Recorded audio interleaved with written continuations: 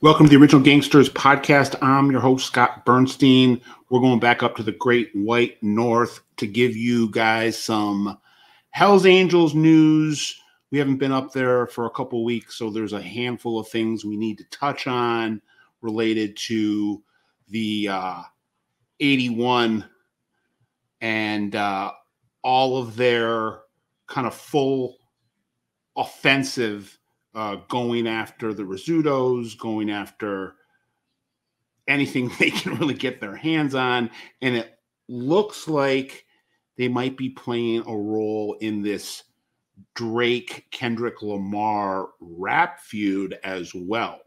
Um, but we'll get to that at the end. Let's start with it looks like we've had some, you know, another day, another um, shift in the landscape that is this Hell's Angels war uh, kind of going on on uh, going on in two fronts uh, in, in, in Montreal uh, against the Rizzuto mob, and then in Quebec City against the Blood Family Mafia group.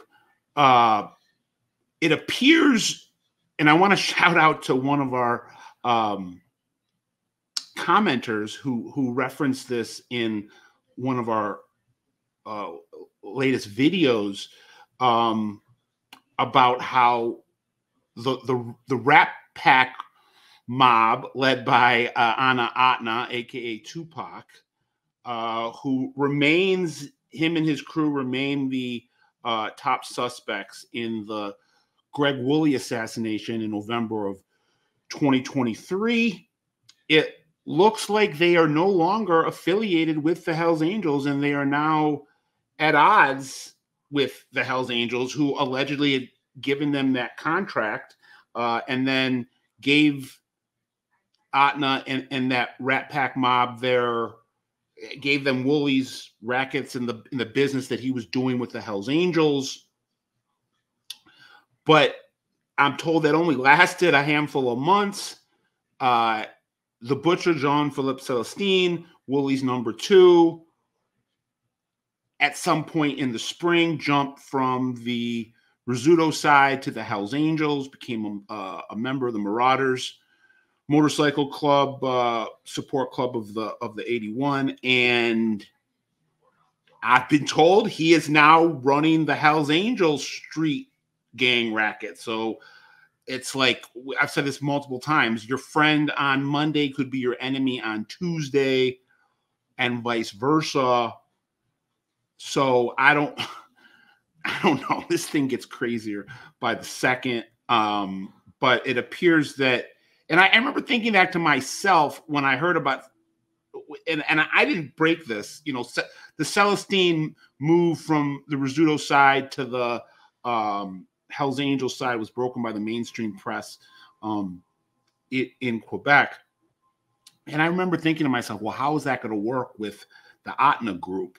Well, it looked like that only it only lasted. I don't know how long it lasted. It might not have even lasted. It might not even have exist. They might not have been in you know in a situation where they were both in that camp at the same time. We're just getting this you know news uh, filtered out.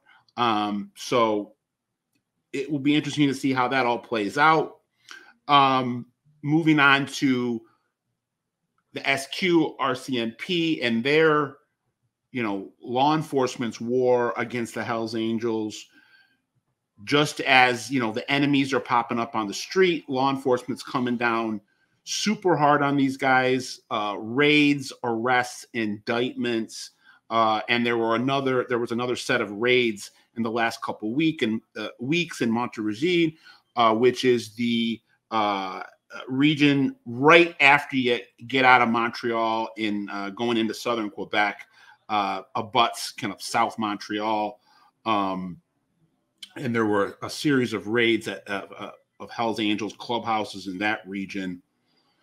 So it's heating up both uh, on the street as well as um, being in the crosshairs of, of the SQ.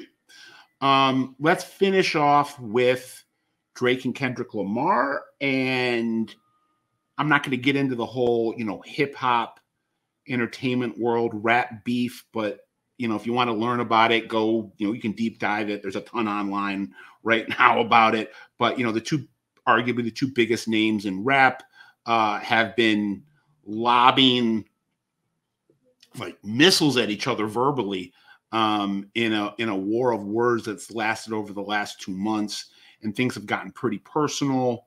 Um, and it seems like lines were, you know, the lines of decency were crossed long, long time ago. And in May, uh, there were a number of incidents at Drake's mansion in Toronto. Uh, one of them ending in the wounding of one of his bodyguards.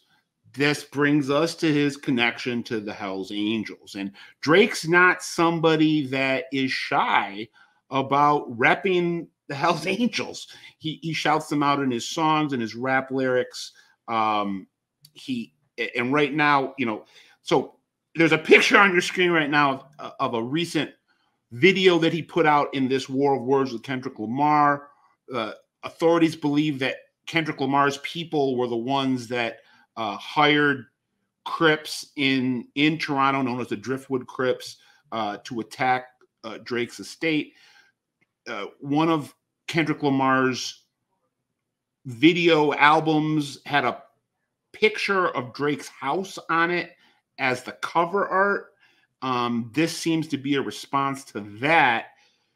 What I don't think a lot of people know, and it's not really coming out in the press yet, is that from my sources, Drake's entire security is run by Hell's Angels. The picture you just saw, which was a, a, a snapshot of um, a screenshot of the video Family Matters, he's sitting there with his next door neighbor, Andy Curnew, who there's some debate about where he stands in Hell's Angels Nation, whether or not he's an official member, an official shot caller, that's all up for debate. But what we do know is that he's very affiliated uh, with the Hells Angels, um, made his early fortune um, back in the late 90s, early 2000s as having the the the, the propriety, the, the trademark, the Hells Angels uh, licensing for all of Canada went all through him. So any gear that you were getting at that time, uh, he was the only one who had the official licensing of of of the Hell's Angels to sell that stuff in Canada. He went away for about eight years on drug and racketeering, gangsterism charges. He claims that it was a setup because he was uh, socializing with the Hell's Angels that he was doing business with depending on who you ask, uh, he's either somebody who's just friends with these guys, or I know there are members of uh, RCMP and the Ontario um, organized crime divisions uh, that, that work the bikers that think Curnew is a high ranking member of the Toronto Hells Angels, or some people that think he's the boss of the Toronto Hells Angels. Um, succeeding Donnie Petersen, who died a couple years ago. People claim that Petersen mentored uh, Andy Curnew. This is the guy that Drake is showing off in his videos as a I'm putting you on warning to Kendrick Lamar's people. I've heard that SQ and RCMP and Ontario law enforcement have visited Kendrick Lamar's people uh, and Kendrick Lamar, letting them know the hornet's nest that they are you know, disturbing here. Uh, again, there were four separate altercations, one shooting at Drake's estate. This is right next to Curnew's estate. Curnew is somebody. There are surveillance photos out there of him meeting with Marty Robert. Um, that's the you know the, the, the top of the top, the elite of the elite. When you're talking about Hell's Angels in Canada, Kendrick Lamar seems to be treading on some really, really thin ice with this. This isn't Bloods Crips is one thing. That's what you had kind of with Biggie and Pac. You know, the Hell's Angels is like you're dealing with a whole other beast. Um, so I, I'm not shocked that things have calmed down in the last month, but I just wanted to share some context. Um, and and the last thing I'll say is adding on to the Drake not being someone who's very shy about his his uh, support of the Hell's Angels. He's wore support gear out in public, and it looked like earlier this year, after some of the violence that appeared to tilt this war against the Rizzutos in the direction of the Hells Angels, it appeared that Drake's social media was like congratulating them. I mean, his personal social media. So, just again, food for thought. Uh, we'll be back to the Great White North very soon, I'm sure. Scott Burnstein, OG Pod out.